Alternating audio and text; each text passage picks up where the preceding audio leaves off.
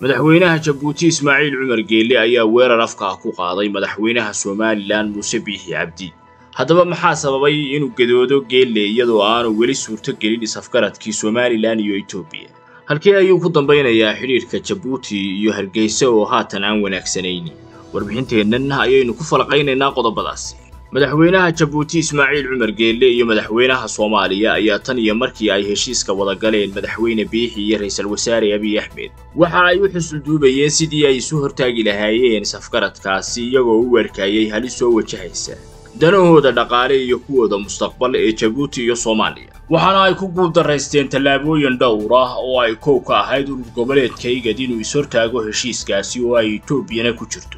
iyo weliba dacwooyin isdaba jooga oo ay caalamka u kala dilayeen si aanu u shaqaynin isafgaradka madaxweyne biixi iyo ra'iisul wasaare abiy axmed. Madaxweyne geelleh oo arrimaha da'ah dabadiisa ka maamulayay ayaa markan dibadda iskeenay waxaana uu weerar afka ah ku qaaday madaxweynaha somalilan muuse biixi cabdi. Waraysi uu siinayay warbaahin laga leeyahay waddanka faransiiska ayaana waxa uu ku sheegay inuu biixi yahay shakhsi aragti gaaban oo aan u dhug lahayn dhibaatooyinka uu keeni karo heshiiska uu dowladda etoobiya la galay. Hadalkaasi marka uu ka dhawaajinayo geelle ayaa waxa uu gacanta ka soo dhigay dadaal guuldaraystay oo la isugu soomaaliya iyo etoobiya laguna wada hadalsiinayay magaalada nairobi ee xarunta waddanka kenya. Kaasi oo midhodhal noqon waayay ayna ka odayeynayeen madaxweynaha waddankaasi iyo ismaaciil cumar geelle haddaba maxay tahay sababta ay jabuuti uga xun tahay aqoonsiga somalilan iyo heshiiska etoobiya ee ay ku helayso fadhiisinka ciidan ee biyaha badda casii kulaalaya kaasi oo ay ku taamaysay boqolkii sannadood ee ugu dambaysay dowladda jabuuti ayaa ganacsi soo jireena la leh waddanka etoobiya waxaana ay ku xisaabtantaa dadka badan ee uu waddankaasi leeyahay. Iyadoo ay etoobiya isticmaali jirtay dekedaha waddankaasi uu leeyahay oo dhaqaalihiisu uu ku tiirsan yahay. Bishii koowaad kowdoodii labaatan labaatan iyo afar ayaa si lama filaana uu u soo baxay safgaradka madaxweyne biixi iyo ra'iisul wasaare abiy axmed maalintaasi ayaa u ahayd jabuuti maalin madow siyaasad ahaan iyo diblomaasiyaddeeda taasi oo madaxweynaha geelle uu u arko halis halkii ugu dambaysay somalilan oo aqoonsi heshaa iyo etoobiya oo u wareegta dekedaha somalilan. Waana sababaha dabada ka riixaya dadaalada xooggan ee ismaaciil cumar geelle uu ugu xusul duubayo heshiiskaasi in laga noqdo.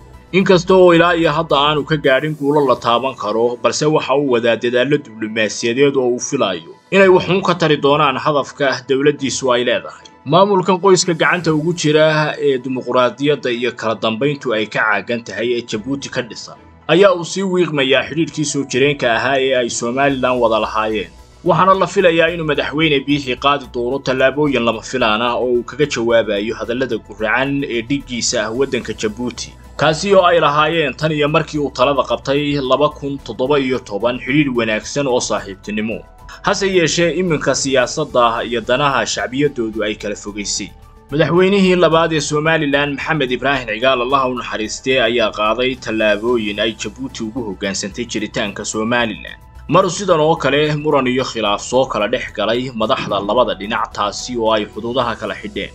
Jabuuti ayaan ka maarmi karin isu socodka somalilan wakhtiyada kulaylaha maadaama ay u soo xagaabaxaan magaalada hargeysa ee caasimadda somalilan hase yeeshee dhinaca somalilan ayaa waxay kaga tiirsan tahay jabuuti aanay jirin. Maadaama uu xidhiidhka labada dhinac sii xumaanayo haddii ay xuduudaha kala xidhaan dhinaca jabuuti ayaa waxyeello weyni ka soo gaadhi karta. Dadaaladan uu ismaaciil cumar geelle waday tan iyo markii madaxweyne biixi iyo ra'iisul wasaare abiy axmed ay heshiiska taariikhiga ku wada galeen magaalada addis ababa. Ayaa noqon waayey kuwa midho dhal ah oo uu guul ka gaadho hase yeeshee ilaa hadda waxa ay ku rajo qabaan. Isaga iyo dhiggiisa waddanka soomaaliya inay heshiiskaasi is hortaagaan